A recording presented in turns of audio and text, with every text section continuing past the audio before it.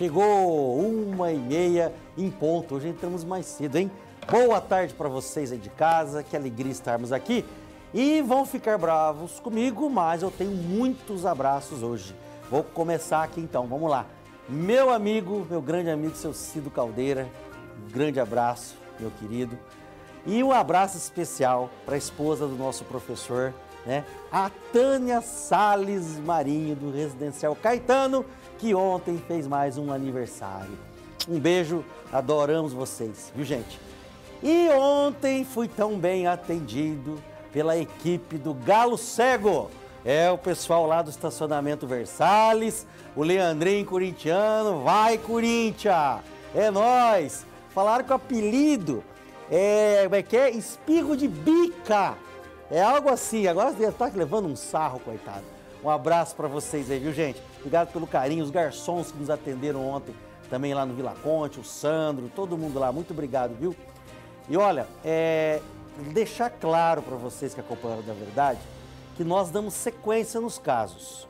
Hoje eu já estive, minha equipe já esteve reunida com alguns secretários municipais de Rio Preto, tratando assuntos de interesse. E nós vamos, no decorrer dos programas, trazendo os resultados. Então, um alô pro pessoal aí do Jardim Arroio. Pessoal do Jardim Arroio, que nós gravamos aquela enchente. Tenho providências, tenho novidades para contar. Quero mostrar quando tiver tudo resolvido, ok? Tá? Bom, e hoje é sexta-feira. Hoje é dia.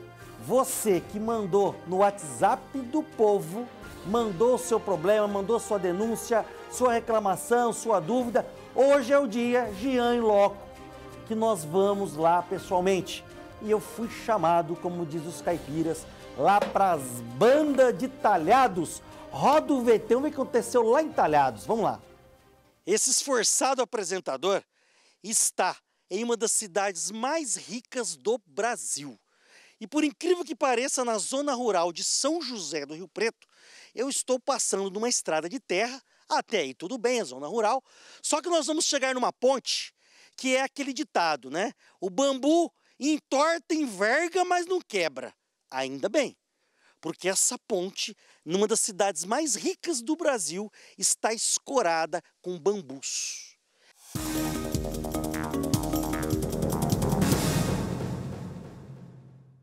Não há uma sinalização da ponte, ou seja, de dia, de noite, o barro imposta em cima da ponte. E para falar para nós o que acontece, por que, que isso está nesse estágio? Estou aqui com um grupo de moradores. Faz sabor, Fábio. Conta para o pessoal da Hora da Verdade o que acontece com essa ponte que está escorada com bambu.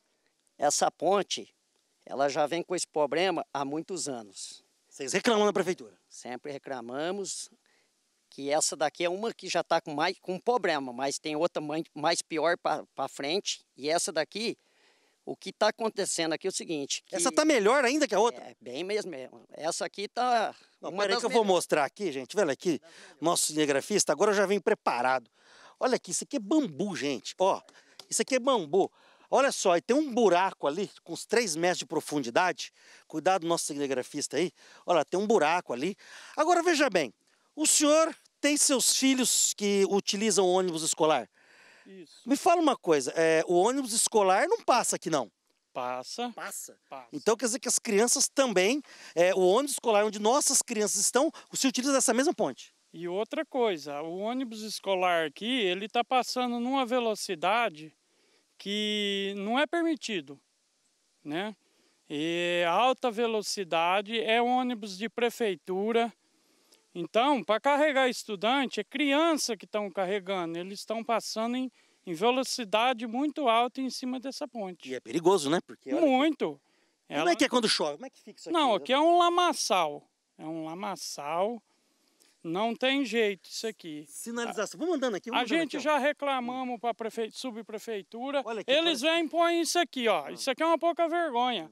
Bambu de guarda-rei. Não existe isso aqui, gente. Não tem nada mostrando que tem um perigo aqui. Perfeito. Que já caiu um carro desse lado e desse lado já caiu outro. Dos dois lados já caiu o carro. Nós localizamos uma placa. Bom, vocês aí de casa tirem suas conclusões.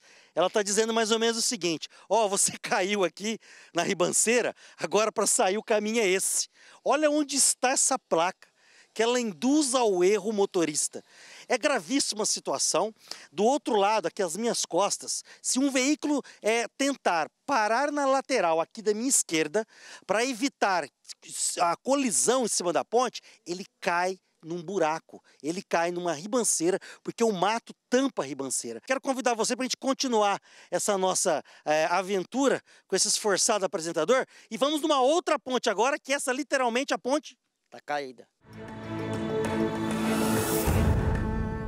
Agora veja só que interessante, novamente a sinalização precária, não há nenhum escorador aqui, tá certo? Nós acreditamos, pela situação que eu vejo, que a prefeitura já esteja tomando providências para que seja feita a reforma da ponte. E claro que a hora da verdade vai buscar essa verdade para os moradores de talhados, o pessoal que usa esse espaço. Mas a hora da verdade não pode deixar de registrar. Estou aqui com mais um grupo de moradores. É, faça favor, o senhor mora aqui também, né? Moro, moro aqui, né? Talhado. E a sinalização? Cadê a sinalização disso aqui, ó? Só para mostrar aqui, nosso telegrafista. À noite alguém consegue enxergar que ali tem um buraco? Não, não. À noite aqui é totalmente escuro, né? E não tem sinalização nenhuma. E o desvio ali que foi feito, ele é muito estreito, né?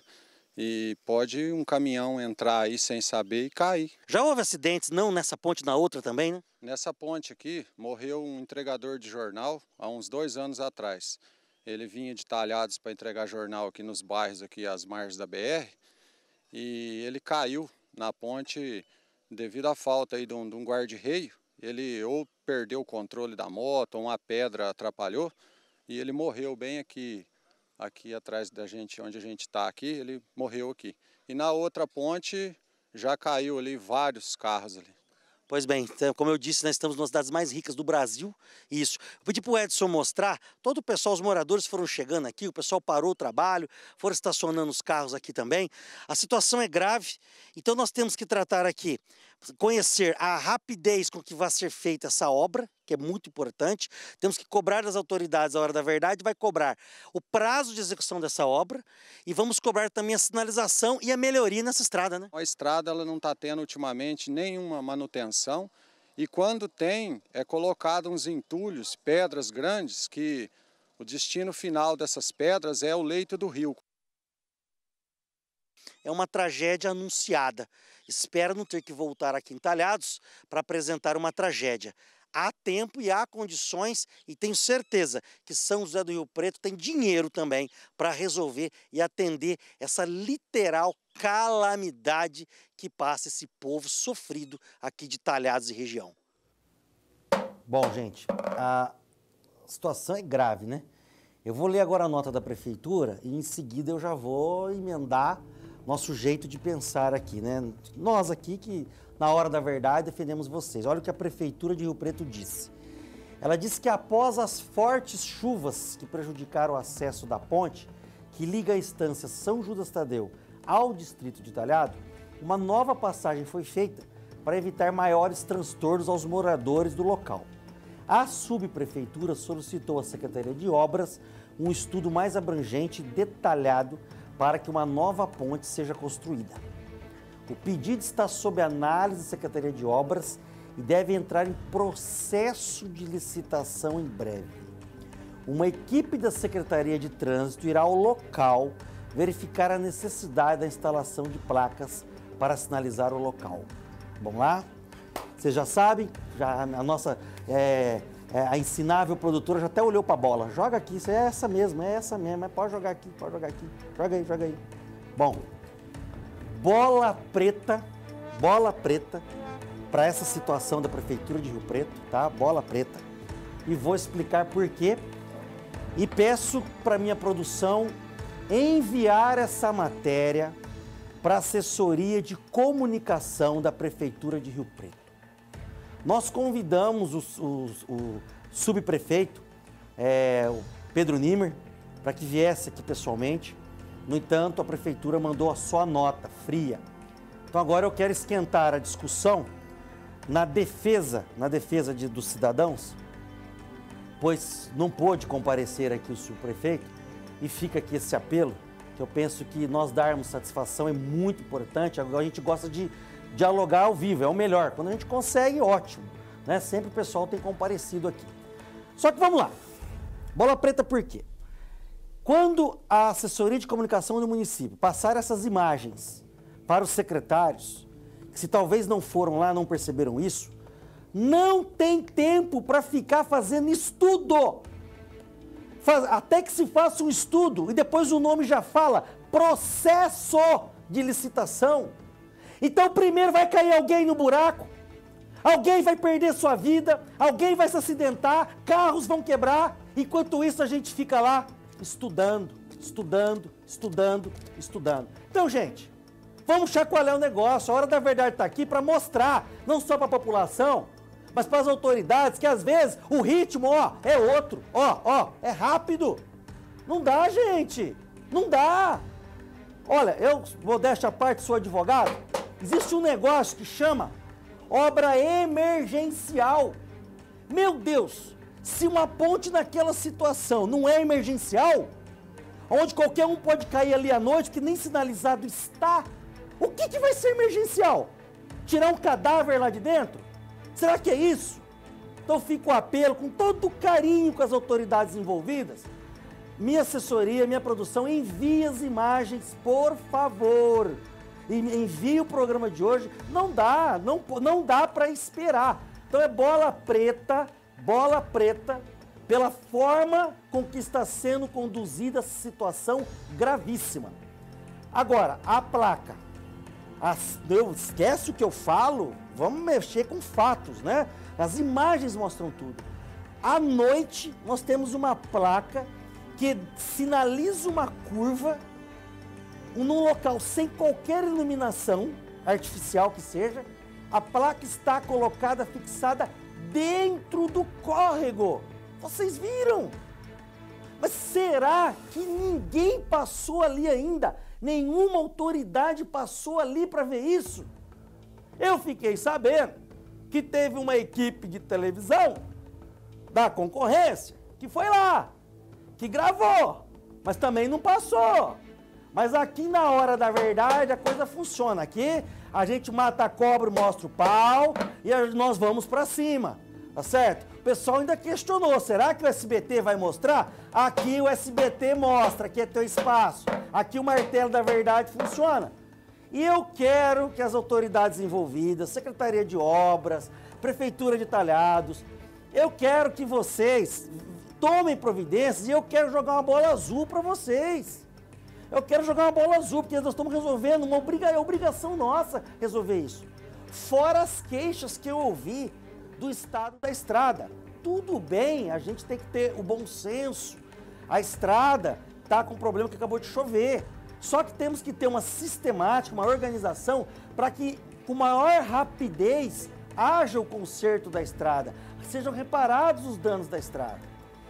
Aquela ponte é, que caiu é no córrego Talhadinho, tá?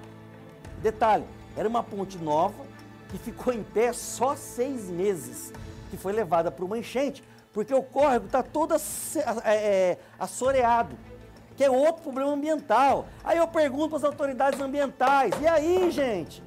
Cadê as autoridades ambientais? Vamos olhar isso, por que está assoreando? Quem que está jogando porcaria? Quem está fazendo isso? Eu fiquei sabendo que na outra gestão, na outra gestão do outro prefeito, diz que se jogavam ali entulhos na estrada. E esses entulhos desciam para o córrego e foram fazendo isso. Mas agora as autoridades ambientais têm que investigar isso. Sabe? É importante, é, eles têm mecanismos, têm formas. Agora, quem está sofrendo é o povo. Agora tem ônibus escolar passando lá. Meu Deus! Nós estamos na segunda melhor cidade do Brasil para se viver, segundo a Federação da Indústria do Rio de Janeiro, a Firjan uma das cidades mais ricas, com orçamento, anota aí, o orçamento é de mais de um bi, bi, é bilhão, bilhão de reais por ano. Não dá, gente. Finalizando, fica aqui o nosso apelo. Estou pedindo para minha produção enviar as imagens, cobrar datas, cobrar prazos, hora, quero saber isso. Quando? Quando? Não dá, isso aqui para mim é caso emergencial, salvo o melhor juízo, né? Salvo o melhor juízo. Aí eu perco a paciência, viu? Aí cai o microfone, aí cai o ponto, aí eu vou falar para você. Fico revoltado aí. Olha, não tem medo nem da onça, não vai ser do rastro dela, viu? Vou falar pra vocês. Agora é o seguinte, gente. Um abraço para Birigui, meu amigo Branquinho lá, um abraço Branquinho, tá?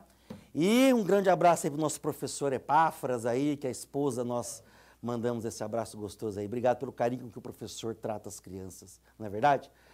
E falando de coisa boa, falando de respeito, pontualidade, qualidade, tô com a minha amiga Márcia.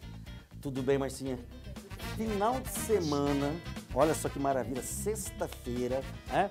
Eu tenho certeza que você vai trazer alguma novidade boa, além das ofertas vamos soltar o escorpião no bolso, vamos dar uns brindes pro pessoal lá. Sim, vamos Conta sim. pro pessoal, quero brinde, eu quero brinde, eu quero Vamos brinde, sim. vai lá. Olha só esse conjunto aí que a Doctors Colchões trouxe pra você. Box mais colchão de mola, um colchão super confortável, 12 vezes de 98 aí no cartão de crédito. A Doctors Colchões aí como a gente tem falado, Doctors Colchões é indústria, fabricação própria, pro- produto de qualidade, selo do Imetro, garantia comprovada. Então passe na loja, conheça o nosso produto, conheça a qualidade.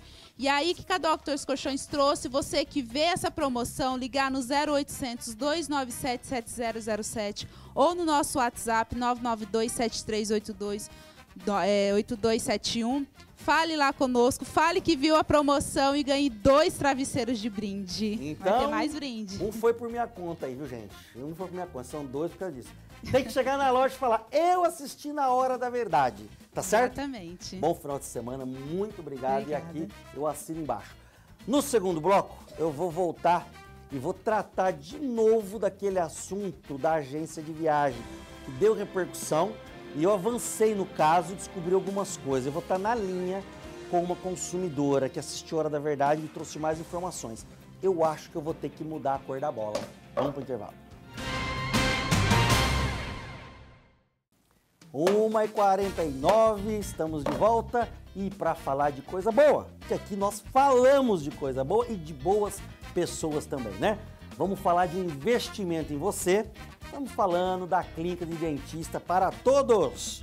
É um novo conceito de clínica odontológica que oferece serviço de qualidade com valor diferenciado e para todas as classes são uma clínica é, com vários profissionais. É uma clínica com vários profissionais para você não ficar esperando. Tem que chegar, tá com problema, tá com dente, vamos resolver. E olha, você é atendido por uma equipe altamente qualificada, bem treinada. E olha, é fácil de chegar lá, é aqui no centro de Rio Preto, ali na Bernardino de Campos, 2664, bem pertinho da rodoviária, tá? O telefone é o 17 3231 1077. Chega lá na Clínica para Todos e diga: Eu vim aqui porque eu confio e acredito na hora da verdade. Falaram que aqui a coisa funciona, estamos aqui, tá bom? Obrigado, viu, gente? Obrigado vocês aí da clínica. Eu vou lá clarear meus dentezinhos lá que tá precisando, viu? Podia dar de bonificação aí pro apresentador, né? Cara, Isso é bom também. Bom, é, agora na linha da verdade, vamos esquentar o negócio de novo. Ontem Algumas pessoas me criticaram porque eu dei bola azul para a agência de turismo. E eu expliquei, porque eu quero que os problemas sejam resolvidos. Eu tenho que trabalhar com a boa fé. Só que a boa fé tem um limite, que esse limite chega bem perto da malandragem. Então a gente tem que começar a separar o joio do trigo. E hoje parece-me né, que tem algumas novidades aí. Boa tarde, quem está na linha comigo? Oi, boa tarde, é a Luciana. Ô, Luciana, tudo bem, minha querida? Você apareceu ontem, né, na, na- na- matéria. Conta pra nós uma coisa. É, hoje, você passou lá em frente. Como é que tá a agência? Tá aberta? Não tá funcionando? Não, é o seguinte, eu moro lá perto e eu estou sempre passando, porque o meu serviço também é externo. Então, toda vez que eu estou passando lá na frente, a agência está fechada. E ele retirou a placa com o nome da agência. Ah, Só tem uma placa. placa, isso, só tem uma placa lá de pano falando das viagens. Certo. Luciana, fala uma coisa. E você chegou a fazer um acordo com a agência? Chegou a colocar no papel? Houve uma proposta? Você aceitou esse acordo? Explica pra nós. Não, no dia que ele falou que não ia ter mais a viagem, Ô, Luciana? Ah. Ele mandou. Oi, Luciana. Alô? Alô? Oi, Luciana. Oi. Conta pra nós. Ele- Ah. Ele mandou um distrato e a gente não quer assinar esse distrato. Ah, A gente queria que ele assinasse uma confissão de dívida, que é, o- é o que ele falou que ele ia fazer. perfeito. E faz quanto tempo que tua viagem deveria ter acontecido e não aconteceu? A minha viagem estava marcada para o carnaval agora de 2019. Ah, então nós já estamos na Páscoa e nada resolvido. Nada resolvido. É. Minha produtora, pode mandando. Luciana, muito obrigado. Eu sei que você está no trabalho. Agradece seu patrão aí, tá? Da marcenaria, por ter cedido teu horário de almoço. Acompanha aí que eu tenho uma novidade para você e para todo mundo que está com problema com essa agência, tá? Assiste um pouquinho a TV aí, tá bom? E tá no Facebook também o programa, tá? Vamos lá, obrigado, Luciana. Joga aqui, joga aqui. Vou pegar com uma mão essa aqui, ó, ó, ó, ó, ó, ó, bicudo, bola preta. Ai, quase derrubei o negócio ali. Gente, é o seguinte, é, o dono da agência, dono da agência, acabou de mandar um WhatsApp aqui, um WhatsApp do povo que está embaixo, dizendo que estava não estava passando bem e que hoje ele não abriu agência. Pois bem, quem não está passando bem são essas vítimas. Porque desde o carnaval, dois meses, e até agora não se resolve nada. Então, quem não está passando bem, primeiro, são as vítimas, que são a parte mais fraca. Então, para o dono da agência começar a passar bem, a primeira coisa que a gente tem que fazer é começar a pagar os outros. Acertar com as pessoas. Que é o primeiro passo. É o primeiro passo, tá certo? Essa agência fica ali no bairro São Judas, naquelas proximidades ali, se eu não me engano. É ali, é por ali. É isso aí, né? Bairro São Judas ali, não é? Mais ou menos? Bom, o que, que eu quero dizer para vocês? Atenção, Renato, fecha aqui agora na 1. Você, você que está em negociação ou que é vítima dessa agência, essa agência que está dando problemas, vocês devem procurar a minha produção. Vou colocar agora também o telefone aqui da Soprocom. A Luciana é a pessoa que foi a primeira pessoa aqui que nos procurou agora dando essa posição.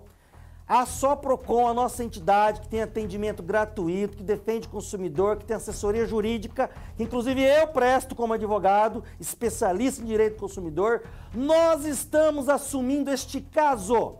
Vocês não terão um único real de despesa, tá? Nós estamos assumindo esse caso, não assinem qualquer documento. Sabe por quê? Vamos de novo aqui para a câmera 2.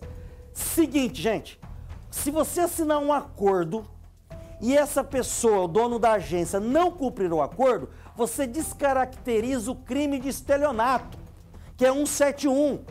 Então, às vezes, o pessoal tem mania de falar, assina o acordo, você assina, vira um desacordo comercial. Aí, desacordo comercial, você entra com uma ação na justiça, leva lá 3, 4 anos, você ganha a ação, aí você pega a sentença do juiz e pendura na parede lá. Pendura lá, ganhei a ação. Ganhei, ganhei, mas não levei. Porque a pessoa some com os bens, não tem mais bens, não resolve. Quando você entra com o estelionato, e aí fica a dica aí pros, pros marmanjos, os golpistas aí, tipo da autoescola lá, que nós já estamos em cima, né? Quando é estelionato, o juiz escreve assim, na hora que acaba o processo penal, ele escreve assim. Para vítima, ou melhor, para o autor do suposto crime, agora no, então, no caso é o crime, é uma sentença, não ir para o chilindró, não ir para a cadeia, eu, juiz, digo o seguinte: indenize as vítimas, senão você vai cumprir pena na cadeia. Viu a diferença? Vocês perceberam a diferença? Então, cuidado, cuidado, e eu estou falando deste caso da agência. Coloque no Facebook, o WhatsApp da Verdade está aí, o telefone da sua Procon também. Estamos à disposição. Vamos juntar. Nossa entidade vai trabalhar para vocês, junto com a nossa produção. Não assinem documentos sem assessoria jurídica. Quer fazer um acordo, uma confissão de dívida? A gente até assina, mas eu quero uma garantia, eu quero um bem que garanta que nós vamos ser ressarcidos. Porque se nós percebermos que isso aí é conversa mole para boi dormir, para descaracterizar o crime, nós vamos para cima, gente. Nós vamos protocolar um pedido de abertura de inquérito policial para apurar o crime de estelionato e se tiver mais gente envolvida, até formação de quadrilha, certo? Nós vamos bater forte. Aqui é o seguinte, nós não tem medo nem da onça, não vai ser do rastro dela, tá? Pode ter certeza disso. Então veja bem, fechou? Tamo combinado? Então tá aí o WhatsApp do povo, entre em contato com nós, a nossa assessoria jurídica já entra no caso hoje. Luciana, obrigado pela coragem. Vocês vão ser defendidos por nós aqui da Hora da Verdade, viu, gente? Pode ter certeza. Aqui você tem voz, tem espaço e durante a próxima semana eu vou continuar nesse caso, viu? Bom, e agora, gente, vamos falar de quem respeita o consumidor, vamos falar de quem realmente respeita a lei. É a Tonelli, viu, gente? Roda o VT da Tonelli aí pro pessoal. Mais tranquilidade e mais segurança para você e para sua família é aqui na Tonelli. Não é, doutor Jean Danelas? É hora de promoção. Então, pneu aro 13 a partir de R$ 129,90. Pneu aro 14 a partir de R$ 179,90. E pneu aro 15 a partir de R$ 199,90. Pneus novos com 5 anos de garantia. Amortecedores a partir de R$ 49,90 o par. Com 2 anos de garantia e livre de quilometragem. Kit de revisão para o seu carrão tem correia dentada, mais tensor, mais troca de óleo a partir de R$ 299,90, tudo em até 10 vezes sem juros no seu cartão de crédito. Estamos na Avenida Nossa Senhora da Paz, 2341, do lado direito. Então, venha para Tonelli e ligue 0800 500 mil. Anunciar na hora da verdade é sinal de respeito e credibilidade com o consumidor. E agora é aquela hora que o pessoal está se divertindo, o pessoal está aparecendo na televisão. Mande seu vídeo, pode mandar aí no nosso WhatsApp da verdade. Roda a vinheta, roda a vinheta, roda a vinheta aí, vamos ver lá.